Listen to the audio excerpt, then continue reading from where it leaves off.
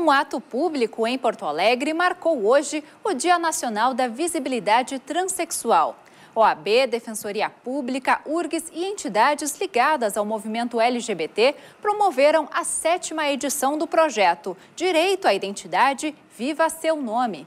A iniciativa tem como objetivo facilitar a retificação do registro civil e de gênero. 15 processos foram protocolados no Fórum da Capital. No Brasil, travestis e transexuais precisam da autorização do judiciário para conseguir mudar o nome e o gênero na carteira de identidade e na certidão de nascimento. Mas nem sempre o pedido é deferido pelo juiz, principalmente se a pessoa não realizou cirurgia de mudança de sexo. Aqui no estado, o movimento promove periodicamente um mutirão de interessados em ingressar na justiça. Aqui em Porto Alegre e no Rio Grande do Sul, em geral, nós temos uma aceitação melhor do que na média do país. Mas ela ainda está longe de ser do jeito que a gente deseja. Né? A gente tem conseguido vitórias nesse sentido no segundo grau. Aí o tribunal está quase, uh, uh, digamos assim, pacificando a jurisprudência nesse sentido.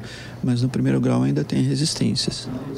O direito a ter o nome e a designação de sexo alterados é somente uma das reivindicações do movimento. O Brasil é um dos países com o maior número de assassinatos de transexuais e travestis.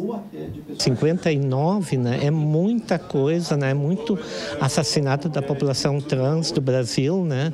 Este mês, né, para nós, foi um, foi um choque muito grande, né, entendeu? Para a gente entender o que está realmente acontecendo. A gente está lutando lutando para denunciar isso para a ONU, né?